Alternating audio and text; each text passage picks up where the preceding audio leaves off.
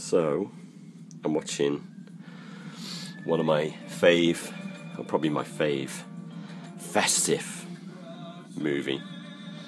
I've got the Criterion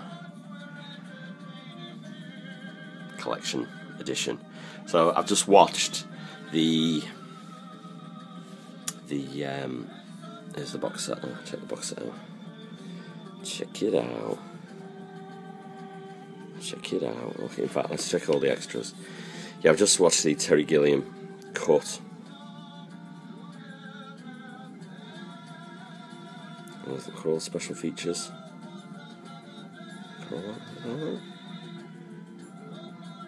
And look, there's a 94 minute studio cut, which Gilliam really didn't want. Let's open them. Should we have a look what we've got. What have we got here? So this is production notebook. What is Brazil? The Battle of Brazil. So check it out. Wow. I do love this movie. I don't know if there's uh let's just open the there's all the contents like. Wow. I do love this edition. There's just so much stuff. I don't I don't think I've actually watched everything yet. So that's all the uh, the making of. What have we got here? This is the uh, Love Conquers All version. So this is the uh, studio version, which um, it was the studio's attempt at making Brazil commercial, as in selling out, really, isn't it?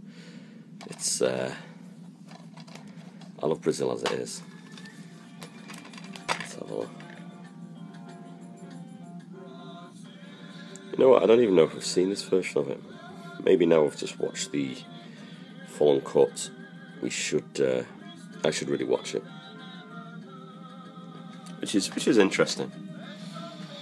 And here's the. Uh, this is the definitive, real version, the Gilliam, Gilliam version. Look at that. 142 minutes. It's class. I always see different things every time I watch the movie. The disc's obviously in, but there's uh, check the book out. Check this out. Should have a quick flick look. Look at all that. Look at all that. Look at all that. Should we focus it? Should we fo- focus, focus, focus, focus?